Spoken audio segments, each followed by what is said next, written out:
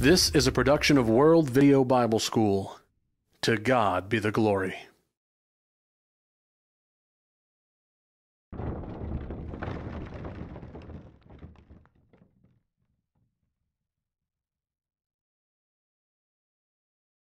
Thou shalt have no other gods before me.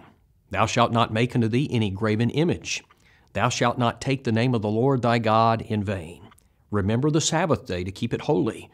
Honor thy father and thy mother. Thou shalt not kill. Thou shalt not commit adultery. Thou shalt not steal. Thou shalt not bear false witness against thy neighbor. Thou shalt not covet. What I've just read comprises what is known today as the Decalogue, or more commonly, the Ten Commandments. The Ten Commandments can be found in Exodus chapter 20, verses 1 through 17. They were given to Moses and the children of Israel at Mount Sinai shortly after their exodus from Egypt. And friends, many people believe that the Ten Commandments contain the fullness of man's responsibility toward God, and that if I'm going to go to heaven today, they say it will be by keeping the Ten Commandments. Friends, I want to tell you that's not true, and, and it never has been true. Even in the days of the Old Law, the Ten Commandments did not comprise the fullness of God's law toward mankind. You see, the Ten Commandments were just a portion of the law of Moses. In fact, going back and looking at the whole law, Bible students tell us that there were some other 603 directives, meaning that there were some 613 precepts comprising the law of Moses. And so, even then, the Ten Commandments were not the fullness of the law of God. Some years back, Billy Graham wrote in a syndicated newspaper column he said the Ten Commandments give the concise statement of God's moral laws, and they have never been set aside. I want us to study that question today. Are the Ten Commandments binding on mankind today? And friends, this is a very important question because a lot of people believe they are. And as a matter of fact, to even suggest that the Ten Commandments are not binding on men today, that upsets some people and, and it raises a lot of eyebrows. In fact, that's why there's this battle today about the Ten Commandments being in many uh, public places because a lot of people believe that they represent God's law for us today. What I want to do in this lesson is to study this question Are the Ten Commandments binding on us today? And I want us to open our Bibles and see what God has to say about this subject. And in fact, you might be surprised at what we find. And I want to launch the study with 2 Timothy chapter 2 and verse 15. The Bible says, Be diligent to present yourself approved to God, a worker who does not need to be ashamed, rightly dividing the word of truth. I want you to focus on those two words, rightly dividing. What does that mean? Well, to rightly divide the word means that we need to know what portion is, is a part of the old law and what portion is a part of the new law. It means that we need to know what portions are binding on us and what portions are not. It means we need to know what is said to us and, and what is applicable to us and what is said to other people. All right, three points we want to cover in this lesson. Number one, we do not live under the Ten Commandments today. Number two, why we do not live under the Ten Commandments today. And then number three, Today we live under the commandments of Christ, which is known as the New Testament. All right, point number one we do not live under the Ten Commandments today. Now, I know that might be surprising for some people to hear, uh, especially coming from a, a Christian organization. But, friends, our concern is to follow the Bible. And the fact of the matter is, the Bible specifically states that the Ten Commandments have been done away. I want you to listen carefully to Romans chapter 7. In verse number 4, the Apostle Paul is teaching the Romans that they no longer live under the Old Testament, that is, the law of Moses. And he says, You have become dead to the law by the body of Christ. He says that you might be married to another. Now, when he says you are dead to the law, dead to, does that in any sense sound like it is still operative? No, it doesn't. Dead to means it is inoperative. Now, now somebody says, okay, well, the Old Testament law is dead. I understand it is no longer binding. But how do you know that includes the Ten Commandments? Well, let's continue in this text. We drop down to verse 6. He says, But now we have been delivered from the law, having died. What shall we say then? Is the law sin? Certainly not. On the contrary, I would not have known sin except through the law. For I would not have known covetousness unless the law had said, You shall not covet. I want you to notice Paul is talking about the law to which we are dead, and he gives as an example of that law, Thou shalt not covet. Do you recognize that? Friends, that's one of the Ten Commandments. And so Paul clearly teaches that we are dead to the law of Moses, including the Ten Commandments, which he specifically cites as an example. I want you to notice with me another passage. 2 Corinthians chapter 3 and verse 7 says, But if the ministry of death, written and engraved on stones, was glorious, so that the children of Israel could not look steadfastly at the face of Moses because of the glory of his countenance, I want you to notice he's talking about something that was written, that was engraven in stones. He's talking about that which caused Moses' face to glow, and, and he had to put a veil on his face. Do you remember that in the Bible? If you go back to Deuteronomy chapter 5 and Exodus chapter 34, you'll see he's talking about when the Ten Commandments were given. When, when Moses received the Ten Commandments, his face glowed. All right, keep going. You drop down to verses 11 and verse 13 of 2 Corinthians 3, and the King James says that this was done away according to verse 11. It was abolished according to verse 13. You see, when Moses received the Ten Commandments, his face shone with glory, but that glory was fading away. And Paul uses that to illustrate the fading glory of the old law, including the Ten Commandments. In fact, he specifically mentions them. He refers to the old law as passing away, and he refers to the other, the new law, as remaining. Friends, the Lord is specifically telling us that the Ten Commandments no longer remain. They have been done away. Okay, secondly, as we consider the point that we don't live under the Ten Commandments today, I want us to consider the consequences if we did. What if the Ten Commandments were still binding on us today? Well, first, if the Ten Commandments are bound today, then the Sabbath day is bound today. The fourth of the Ten Commandments said, Six days you shall labor and do all your work, but the seventh day is the Sabbath of the Lord your God. In it you shall do no work, you, nor your son, nor your daughter, nor your male servant, nor your female servant, nor your cattle, nor your stranger who is within your gates. Exodus 20, 9 and 10. And the penalty for violating the Sabbath day was death. Exodus 31, 12 through 16. Numbers chapter 15, 32 through 36, we read about a man who picked up sticks on the Sabbath day, and, and thus he violated it. And we also read he was executed for so doing. Now, friends, if the Ten Commandments are still binding on us today, are we also going to enforce this portion in relation to violating the Sabbath? Now, some people would argue that the Sabbath day for Christians is, is Sunday. It is the Christian Sabbath. In fact, Billy Graham and others teach this. But the Bible nowhere calls Sunday the Christian Sabbath. Exodus 20 and verse 10 says, The Sabbath day was the seventh day of the week. Now, in addition to not being able to work on that particular day, according to Sabbath day requirements, a fire could not even be kindled on that day. Exodus 35 and verse 3. Friends, that would mean that a woman could not even turn on her gas range to cook breakfast or to prepare lunch. A man could not even turn on his gas furnace on a cold Saturday afternoon. And it wasn't just the violation of the Sabbath that carried the death penalty. I want you to consider with me some of the other commandments that also had the death penalty linked to them. Commandments number one and two dealt with idolatry. Idolatry called for capital punishment, Deuteronomy 13, 6 through 11. Commandment number three dealt with taking the Lord's name in vain. That also called for capital punishment, Leviticus 24, 10 through 15. Commandment number four Sabbath day violators were punished by death. Numbers 15, 32, and following. Commandment number five required honoring and obeying parents. Disobedience to this command You guessed it, it was capital punishment. Exodus 21 17, Leviticus 20, and verse 9. Commandment number 6 forbade murder. The penalty was capital punishment. Exodus 21 12. Commandment number 7 prohibited adultery. If you violated this, you were to be put to death. Leviticus 20 and verse 10. Incidentally, homosexuality also demanded this as punishment. Leviticus 20 and verse 13. Commandments 8 and 10 dealt with theft and coveting.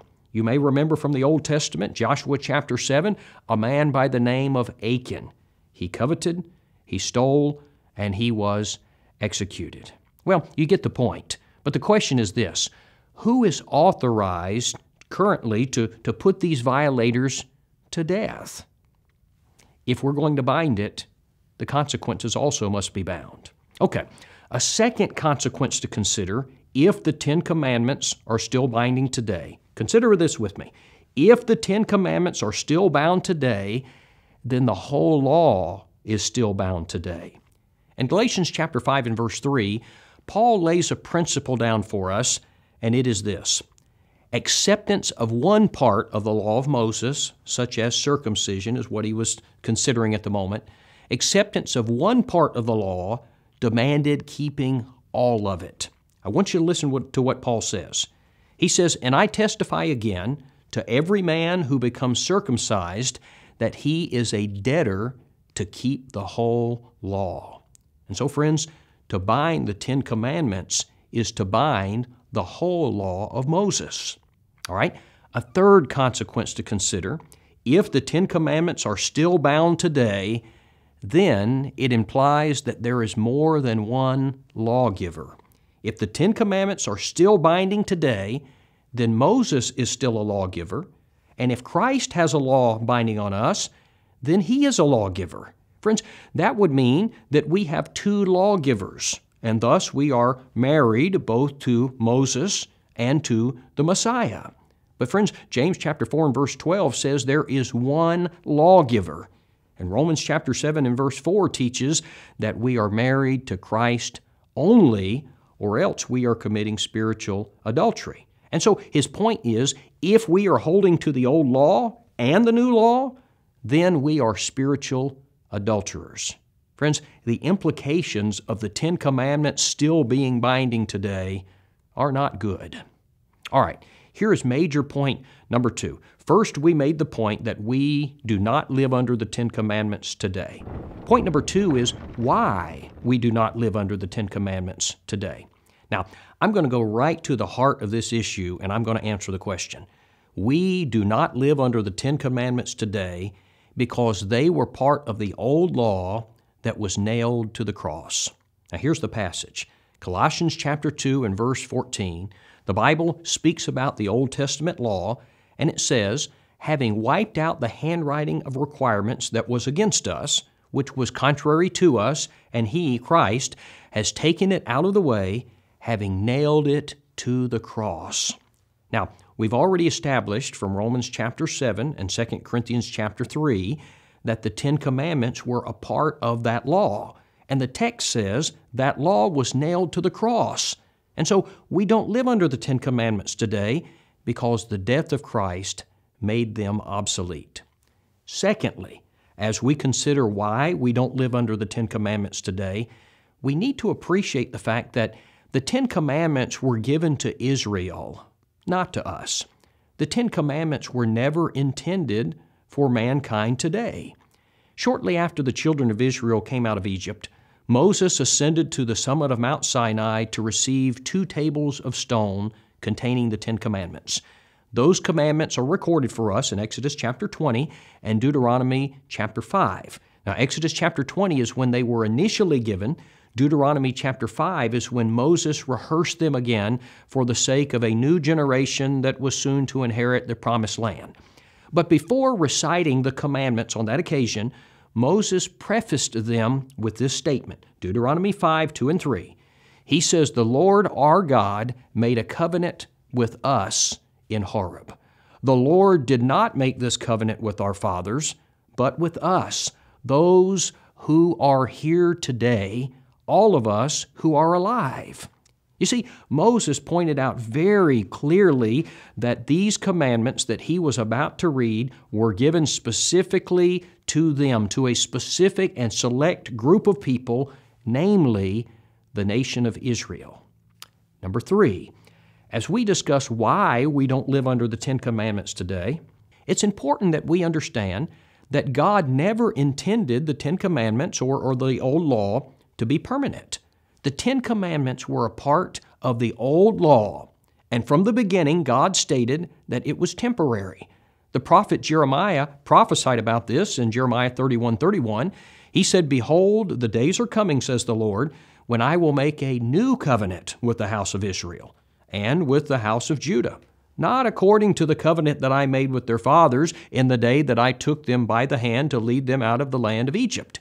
You see, he said, a new covenant is going to be established, not like the one I gave them when they came out of Egypt, not like the one containing the Ten Commandments. In the New Testament, Galatians chapter 3 and verse 23, but before faith came, we were kept under guard by the law, kept for the faith which would afterward be revealed. Therefore, the law, which contained the Ten Commandments, was our tutor to bring us to Christ, that we might be justified by faith. But after faith has come, we are no longer under a tutor. Now, friends, what does that mean? What does he mean that the Old Testament was a tutor, but when the New Testament has come, the law of Christ has come, we are no longer under a tutor? It means that today we are under the law of Christ. We are no longer under the old law which contained the Ten Commandments. Hebrews chapter 10 and verse 9 says, He takes away the first that he may establish the second. Colossians 2:14 says, having wiped out the handwriting of the requirements that was against us, which was contrary to us, and he has taken it out of the way, having nailed it to the cross. And friends, lest anybody miss the point, the Lord made it abundantly clear in Matthew chapter 17 on the Mount of Transfiguration. Peter, James, and John are present on the mountain with Jesus. And there miraculously appeared Moses and Elijah. And Peter impetuously suggested that he build three tabernacles, one for each of them, thus placing Moses and Elijah and Jesus all on the same level. But the voice of God came from heaven and said, This is my beloved Son, hear him. Friends, it is Christ's law that we are to hear today. It is the law of Jesus Christ that is binding on us today, not that of Moses. Matthew 28 and verse 18, Jesus said that all authority had been given to him. And so, if Moses and his Ten Commandments are still in effect today, friends, they are minus any authority whatsoever. All right, major point number three. Today we live under the commandments of Christ, not the Ten Commandments. Friends, today we live under a better covenant. Hebrews chapter 8 and verse 6 says, But now he has obtained a more excellent ministry, inasmuch as he is also mediator of a better covenant, which was established on better promises. Now, sometimes when it's pointed out to people that we do not live under the Ten Commandments today, people will respond and say something like this. They will say, So you believe we can worship idols today? You believe we can profane the Lord's name. You believe we can be uh, disobedient to parents. You believe we can commit murder and, and adultery. But, friends, that's not the logical or the scriptural conclusion here. The Ten Commandments are not the only source of moral authority. We certainly do not teach that it's all right for men to engage in these sins. In fact, we teach that these things are wrong. But the reason that we teach that they are wrong is because the law of Christ teaches it, not because the law of Moses teaches it. As a matter of fact, nine out of the Ten Commandments are repeated in some form in the New Testament, the law of Christ, which is applicable to us today. For instance, commandment number one and commandment number two prohibited having other gods and commanded that we refrain from idolatry. In the New Testament, Matthew chapter 4 and verse 10, Jesus commanded that we worship and serve God only. Acts chapter 10, 25 and 26, Peter forbade a man to worship him. Colossians 2:18, Revelation 19 and verse 10, angel worship is prohibited. 1 Corinthians 6, 9 and 10, Galatians 5 and verse 20, Paul forbade idolatry. And so we worship God only and we refrain from idolatry. But it's not because Moses taught it or because the Ten Commandments taught it, it's because Christ did. Commandment number three forbade taking the Lord's name in vain.